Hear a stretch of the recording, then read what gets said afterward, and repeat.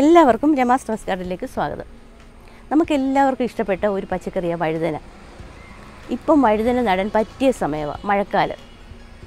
വഴുതന നമ്മുടെ അടുക്കള തോട്ടത്തിന് ഒരു ഭംഗിയും കൂടി നൽകുന്നു. കാരണം പല നിറത്തിലുള്ള വഴുതനയുണ്ട്. നമുക്കത് കാണുന്നതിന് വളരെ ഒരു സന്തോഷകരമായിട്ടുള്ള കാര്യമാണ് പച്ചയുണ്ട് വെള്ളയുണ്ട് വയലറ്റുണ്ട് നീളമുള്ള ടൈപ്പുണ്ട് പുള്ളിയുള്ളതുണ്ട് അങ്ങനെ പലതരമുണ്ട് അപ്പോൾ ഇതിനെല്ലാം ഓരോ വഴുതനയ്ക്കും ഓരോ തരം ടേസ്റ്റാണ് ചില വഴുതനയ്ക്ക് കറ കൂടുതലാണ് അങ്ങനെയുള്ളത് നമ്മൾ കറിക്ക് മുമ്പേ വെള്ളത്തിൽ അരിഞ്ഞിടണം.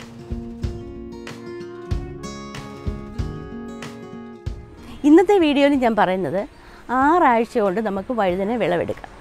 അതിനുള്ള ഒരു ട്രിക്കാണ് പറയുന്നത്. വഴുതന കൃഷി വളരെ എളുപ്പമാണ് നട്ട് കഴിഞ്ഞാൽ നമുക്കൊരു രണ്ട് വർഷത്തോളം തന്നെ അത് വിളവെടുക്കാൻ സാധിക്കും. നമ്മൾ വിളവെടുത്തതിന് ശേഷം ഇടയ്ക്കിടയ്ക്ക് പ്രൂൺ ചെയ്ത് കൊടുത്തിട്ട് അടിയിൽ നല്ല വളമിട്ട് കൊടുത്താൽ മതി.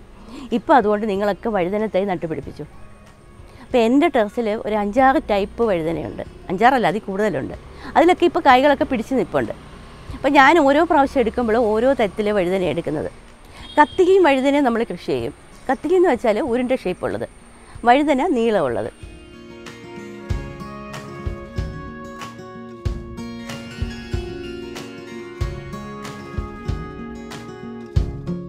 ഇപ്പോൾ ശ്വേത എന്ന് പറയുന്ന വഴുതന വെളുത്ത നിറമുള്ളത്.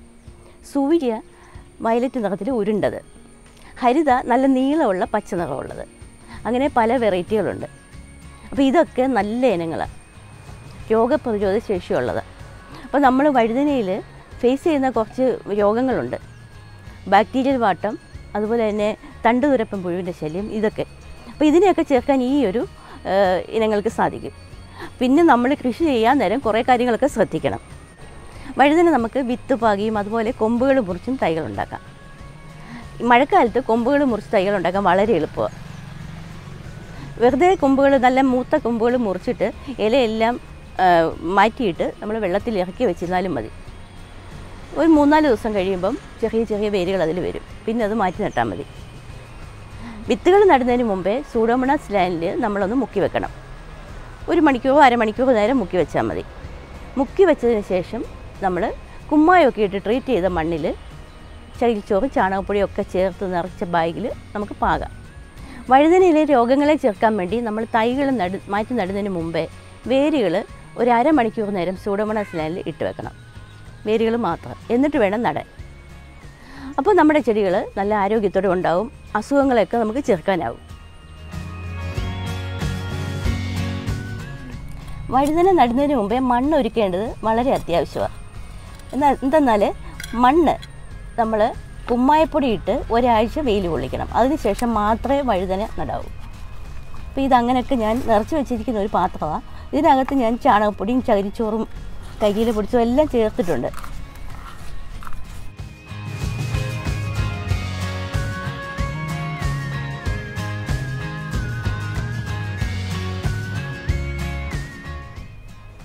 ഇനി വേണം നടാൻ അപ്പം നടുന്നതിന് മുമ്പേ നമുക്ക് തടത്തിൽ കുറച്ച് വാമും കൂടി ഇടണം.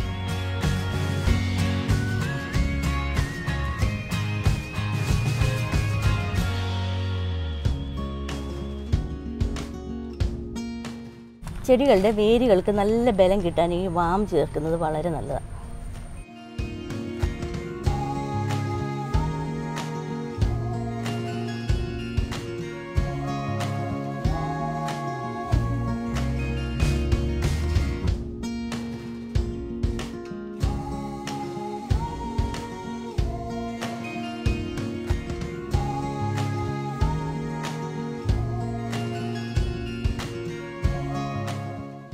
ബാക്കി വരുന്ന ഈ സുഡോമണാസ് വെള്ളം നമുക്ക് ചുവട്ടിലും ഒഴിച്ചു കൊടുത്തേക്കാം.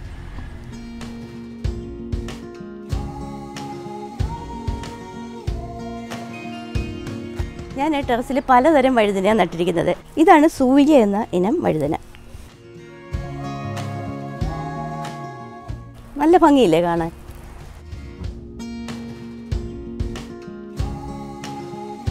വെള്ള തന്നെയാണ് ഇതിൽ കായ ഉണ്ടായില്ല ഇതുവരെയും? കണ്ടോ? നല്ല ഭംഗിയില്ല ഇത് കാണാൻ? ഇതാണ് മാട്ടുഗുള്ള എന്ന വഴുതന.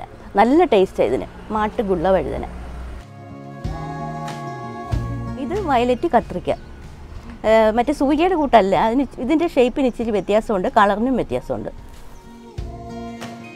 ഇതാണ് വെങ്ങേരി വഴുതന. അപ്പോൾ ഈ വെങ്ങേരി വഴുതന ആദ്യം ഉണ്ടാകുമ്പോൾ വയലറ്റ് നിറമായിരിക്കും അത് കഴിഞ്ഞ് പെതുക്കെ പെതുക്കെ നമ്മൾ ഈ- വിത്തെടുക്കാറാകുമ്പോഴത്തേന് ദേ കളറൊക്കെ മാറി ദേ കളറാവും. കണ്ടോ? ഈ കളറാവും. ഇതിപ്പം വിത്തെടുക്കാൻ വേണ്ടി ഞാൻ നിർത്തിയിരിക്കുക നോക്കിക്കോ എന്ത് നീളമാണ് ഇതിന്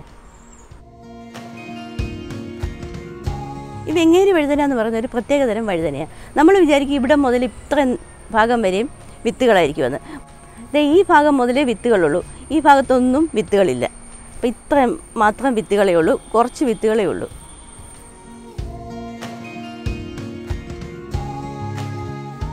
ഇനി വഴുതന കൃഷിയിൽ നമ്മൾ പ്രയോഗിക്കേണ്ട ഒരു നാട്ടറിവാണ് ഞാൻ പറയുന്നത്. ഇത് പ്രയോഗിക്കുമ്പോഴാണ് നമുക്ക് ആറാഴ്ചയ്ക്കുള്ളിൽ തന്നെ വഴുതനയ്ക്ക് കായുണ്ടാകുന്നത്.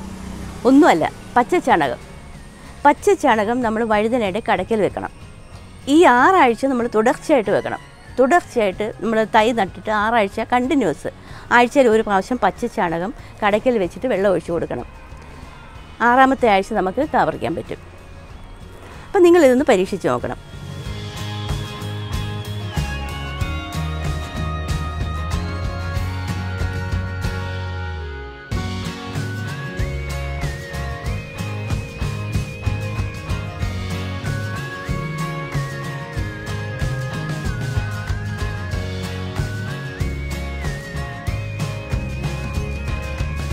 കൂട്ടത്തിൽ നമുക്ക് ഗോമൂത്രം നേർപ്പിച്ചതും കൂടി ഈ ചോട്ടിൽ ഒഴിച്ചു കൊടുക്കാം.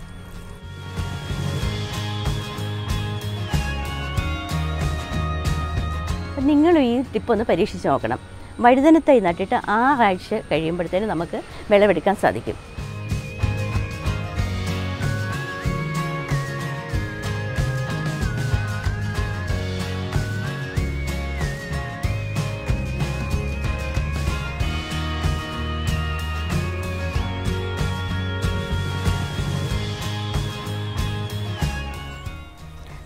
കൊലയായിട്ട് വഴുതന ഉണ്ടാകുന്നുണ്ടോ അപ്പം ഞാൻ പറഞ്ഞ ഈ വളങ്ങളൊക്കെ പ്രയോഗിച്ച് കഴിഞ്ഞാൽ നമുക്ക് ഇതുപോലെ വിളവെടുക്കാം.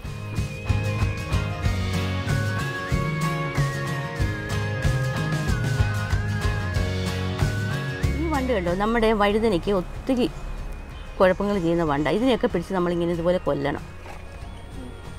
ബിവേറിയയോ വെട്ടിസിലിമോ നമുക്ക് ഈ കീടശല്യത്തിനെതിരെ നമുക്ക് പ്രയോഗിക്കാൻ പറ്റും. അല്ലെങ്കിൽ ഗോമൂത്രത്തിൽ കാന്താരി അരച്ച് ചേർത്തത് തളിച്ചു കൊടുത്താലും മതി.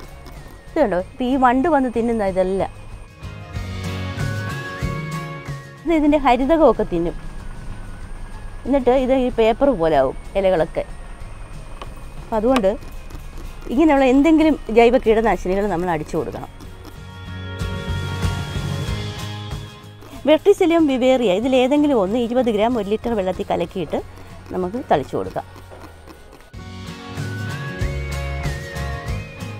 ഒരു ലിറ്റർ ഗോമൂത്രത്തിൽ നമുക്കൊരു പത്ത് ഗ്രാം കാന്താരിയോ അല്ലെങ്കിൽ പച്ചമുളകോ അരച്ച് ചേർത്ത് നേർപ്പിച്ചിട്ട് അരിച്ച് തളിച്ചു കൊടുക്കാം.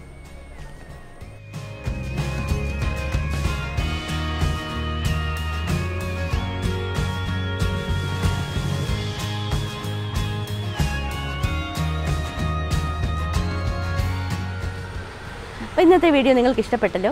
ഇഷ്ടപ്പെട്ടെങ്കിൽ വീഡിയോ ഒന്ന് ലൈക്ക് ചെയ്യണം കമന്റ് ചെയ്യണം ചാനൽ സബ്സ്ക്രൈബ് ചെയ്യണം. അടുത്ത് കാണുന്ന ബെൽ ബട്ടൺ കൂടി ഒന്ന് ക്ലിക്ക് ചെയ്യണം. അപ്പോൾ ഞാനിടുന്ന വീഡിയോയുടെ നോട്ടിഫിക്കേഷൻ നിങ്ങൾക്ക് കിട്ടുന്നതായിരിക്കും. കൃഷി ഇഷ്ടമുള്ളവർക്ക് എല്ലാവർക്കും ഒന്ന് ഷെയർ ചെയ്ത് കൊടുക്കണം.